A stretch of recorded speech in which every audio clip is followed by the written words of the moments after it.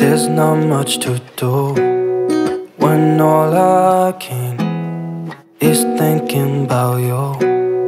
Not doing well, don't know where you are, cause you're not here. It's been way too long. If I could lay down beside you, I would, I would. That's all I wanna do. I hope that you safe and that I will see you soon. If I could lay down beside you. Halo, Assalamualaikum warahmatullahi wabarakatuh Bagaimana kabarnya teman-teman semua? Semoga dalam keadaan sehat, dalam keadaan semangat, murah rezekinya, serta jangan lupa bersyukur dan jangan lupa bahagia ya tentunya Kembali lagi di YouTube channel aku Dina Kurniawati, ibu dari tiga orang anak yang tinggal di rumah kontrakan sederhana. Nah, kembali lagi aku share kegiatan aku di hari ini. Jadi hari ini tuh aku belanja harian gitu ya, teman-teman. Jadi ini tuh aku ada beli beberapa sayuran dan aku juga ada beli ikan. Nah, rencananya tuh aku pengen banget masak gulai ikan tongkol dicampur kentang. Udah lama banget aku nggak masak gulai-gulayan, jadi kayaknya pengen banget hari ini tuh masak gulai-gulayan nah ini ada cuci piring aku sedikit langsung aja mau aku cuci biar nggak numpuk di wastafel. Aku sekarang kayak gitu ya teman-teman. Kalau ada cucian piring gitu langsung aku cuci biar nggak numpuk-numpuk. Alhamdulillahnya airnya sekarang udah mulai baik. Jarang mati gitu. Kalau mati tuh uh, paling tertentu kayak hari weekend. Nah itu baru sering mati. Kalau sekarang tuh kayak yang uh, hidup walaupun kecil tapi hidup Gak apa-apa kecil tapi yang penting hidup. Jadi aku tuh masih kayak bisa nyuci piring gitu. Nah ini lanjut aja. Aku mau bersihin ikan dulu. Uh, Ini tuh aku terinspirasi banget sama salah satu teman aku ya. Dia tuh uh, suka masak ikan gulai-gulayan praktis gitu. Jadi aku tuh udah lama banget gak masak. Uh, mungkin anak-anak uh, aku juga kurang uh, suka gulai-gulayan tapi aku tuh kayak kepingin gitu. Sekali nggak apa-apa ya teman-teman Nah ini ikannya tuh aku beli tadi satu ekornya tuh 12.000 Ini tuh tuh beratnya sekitar uh, eh, 4 on gitu ya besar. Tapi ini uh, aku potong beberapa bagian aja. Nanti mau aku tambah sama kentang biar ada tambahannya. Kadang-kadang anak-anak tuh nggak uh, suka makan ikannya gitu jadi ditambah sama kentang. Kalian lagi apa nih teman-teman semua? Kalian nontonin video aku nih sambil apakah apa kalian udah masak atau kalian udah beberes? Aku tuh sekarang masaknya nggak nentu ya teman-teman. Kadang pagi kadang siang kadang sore gitu. Pokoknya semaunya aku aja.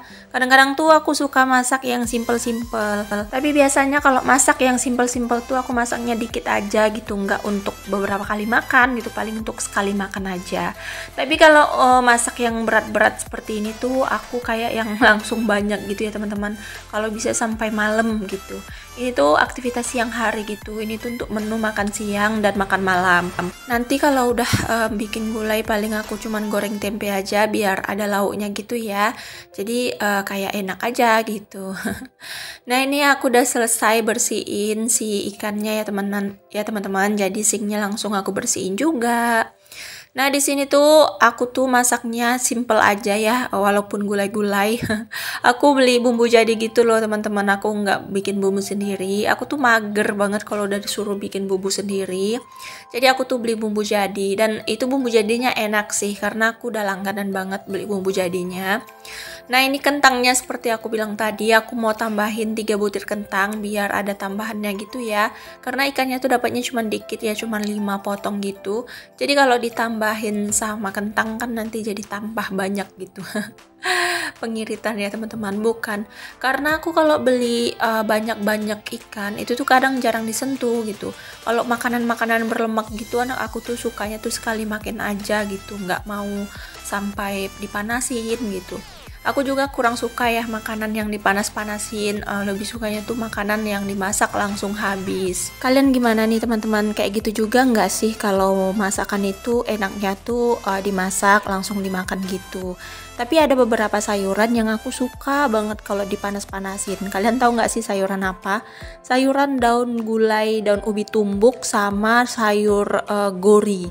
Nah, kalau sayur gori, daun ubi tumbuk sama rendang, aku tuh suka banget dipanas-panasin. Makin lama dipanasin tuh makin enak nggak tahu deh kalian suka atau enggak tapi aku tuh serius suka banget sama daun ubi tumbuk yang dipanas-panasin sayur uh, gulai nangka uh, atau rendang nangka atau rendang daging itu enak banget kalau dipanas-panasin. Kayaknya tuh makin uh, nambah gitu cita rasanya Nah ini aku mau langsung masak ya. Ini tuh aku pakai suit spatula aku yang baru. Akhir-akhir ini tuh aku jadi seringan masak ya teman-teman. Banyakan masak aktivitas aku. Konten aku akhir-akhir ini banyakan masak ya teman-teman. Ya semoga aja kalian tuh gak bosen ya Lihatin aku masak dan lihatin menu-menu aku yang sederhana dan ala kadarnya ya semoga aja bisa jadi referensi untuk kalian masak gitu walaupun aku tuh nggak kreatif ya masaknya. Masak tuh hanya uh, yang sebisanya aku aja gitu. Aku tuh memang orangnya kurang kreatif ya teman-teman. Aku tuh nggak pinter untuk milih menu untuk nyama-nyamain menu atau menyandingkan antara klopnya menu dan lauk tuh aku kadang kurang pinter jadi ngasal aja aku. Kadang tuh kad suka nggak cocok gitu lauk sama sayurnya. Tapi ya udah deh yang penting uh, uh, suka enak udah gitu aja. Nah ini aku mau kasih daun salam. Tadi aku juga udah geprekin serai sama lengkuas. Itu tuh biar uh, untuk pewanginya aja. Sebenarnya di bumbu jadinya itu udah ada cuman itu cuman aku lihat daun jeruk sama daun uh, kunyit gitu ya. Jadi aku kan nggak punya daun jeruk tapi aku punya serai aku tuh suka ya uh, daun salam sama serai gitu dimasukin ke gulai. Jadi tuh kayaknya wangi gitu ya gulainya. Jadi ini aku tambahin uh, daun salam sama uh, serai gitu. Untuk daun kunyit sama daun jeruknya tuh udah ada di dalam. Nah ini aku langsung masukin kentangnya. Ini kentangnya aku nggak goreng dulu ya teman-teman. Aku langsung masukin aja. Nanti mau aku masak gitu sampai kentangnya itu lembut ini nanti mau aku kasih air. Karena aku tuh mau pakai santan kara aja aku nggak pakai santan instan. Aku tuh belum punya blender ya teman-teman. Jadi kayak uh, males aja gitu untuk merasa santan. Jadi aku tuh kayak uh, udah deh pakai santan kara biar garcep juga biar cepet siap gitu ya. Yang penting kerjaan itu pinter-pinternya kita kayak mana caranya biar cepet siap gitu Nah ini kalian jangan salpok ya sama Dek Rara tuh yang mondar mandir dan bajunya tuh semalam masih itu aja. Itu sebenarnya udah ganti ya teman-teman. Cuman kan waktu aku beli baju itu hari itu kapelan ya sama kakak Riri jadi kakak Riri tuh kayak yang udah nggak muat lagi gitu loh. Jadi dipakai sama adik Rara. Jadi kalau orang lain berpikir tuh kayaknya adik Rara nggak ganti baju. Ini tuh kegiatan paginya yang uh, kegiatan pagi dari yang video aku semalam gitu. Aku hari ini tuh lagi rajin banget buat video. Sebenarnya bukan rajin ya teman-teman. Aku tuh takut gitu di sini mendung aja cuacanya. Jadi aku tuh susah banget untuk dapat waktu untuk buat video yang bagus gitu video aku beberapa yang di bawah tuh uh, makanya viewersnya tuh kurang aku perhatiin. Mungkin karena kurang bagus ya untuk pencahayaannya jadi tuh nggak nyaman mungkin ya ya teman-teman berada di video aku. Tapi ya udah namanya kita bikin uh, video tuh kadang laris kadang enggak gitu. Kita nggak boleh down ya teman-teman. Sama seperti kita jualan jadi kadang uh, habis jualan kita kadang enggak gitu. Jadi kita tuh kayak nggak boleh uh, berhenti gitu.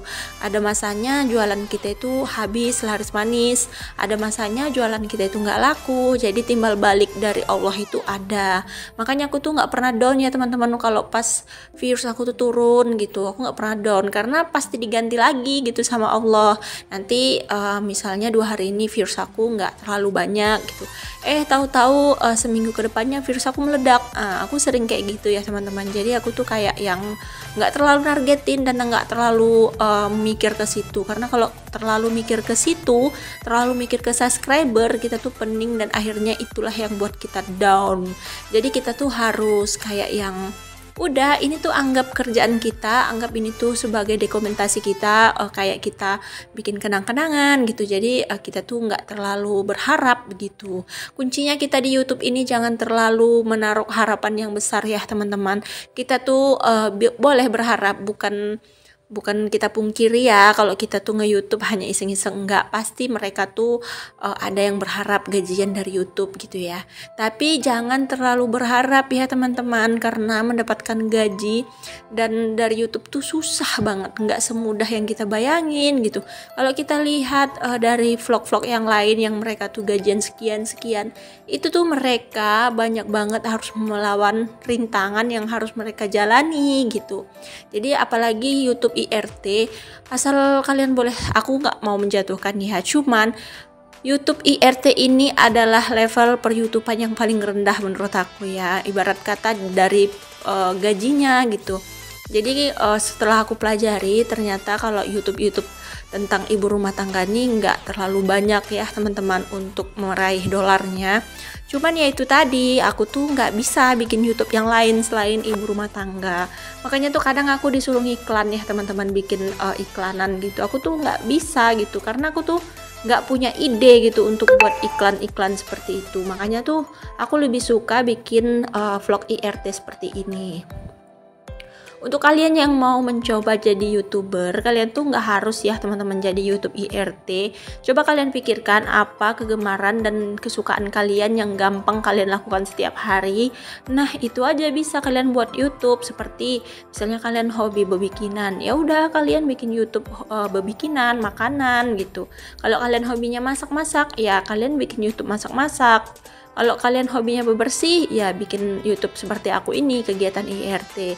Kalau kalian hobinya seperti main gitar atau main bola atau kalian hobinya uh, ngotak-ngatik komputer, ngotak-ngatik handphone, kalian bisa buat tutorial untuk uh, buat uh, tutorialnya gitu video tutorial jadi kalau kalian suka make up kalian bisa uh, buat YouTube make up gitu pokoknya banyak banget ya kalau ide untuk buat YouTube ini. Nggak harus sih uh, eh, IRT gitu nggak harus.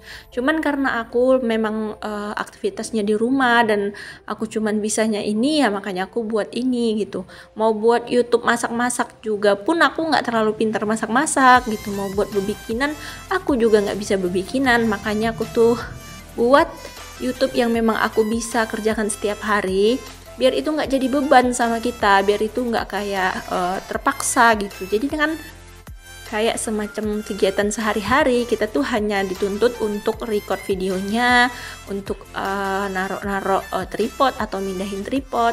Mungkin kita tuh hanya dituntut untuk ngedit karena jujur kalau ngedit IRT ini sedikit sulit ya teman-teman. Karena kita tuh harus uh, gimana ya harus pandai-pandainya kita gitu. Tapi kalau kita buat tutorial ataupun kayak masak-masak tuh menurut aku gampang sih ngeditnya. Tapi kalau untuk buat YouTube IRT ini agak sulit ya memang ngeditnya karena kita tuh banyak banget ngambil sisi video dari titik mana gitu. Makanya tuh harus pinter banget untuk ngeditnya. Dan untuk uh, eh, IRT ini juga kita tuh harus dubbing gitu. Nah, dubbingnya itulah yang harus kita pelajari gimana biar kita tuh nggak kayak terbata-bata gitu, kayak gugup gitu. Pokoknya uh, dari dubbing itu pun kadang bisa jadi uh, kegemaran orang lain gitu karena dengerin kita cerita atau motivasi-motivasi yang kita sampaikan nah itu yang buat orang tuh betah di channel kita Nah, uh, sekian dulu mungkin ya. Aku tuh nggak pinter ya teman-teman berkata-kata dan ngajarin orang karena aku jujur masih belajar. Aku tuh sekarang lagi gila banget, gila-gilaan belajar gitu ya bagaimana caranya aku tuh tetap produktif di rumah mengurus anak mengurus suami?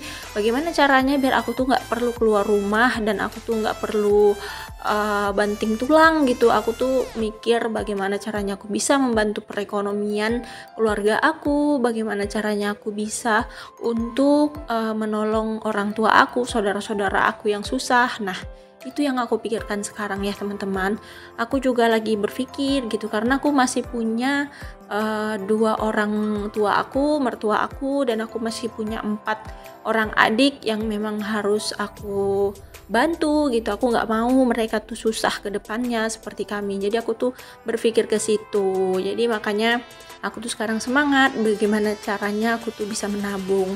Nah di sini tuh uh, aku tuh matokin untuk pak suami aja gitu yang memikirkan uh, kayak keperluan rumah gitu kayak uh, yang lain-lain gitu. Karena kalau untuk menabung sulit ya untuk gajinya pak suami.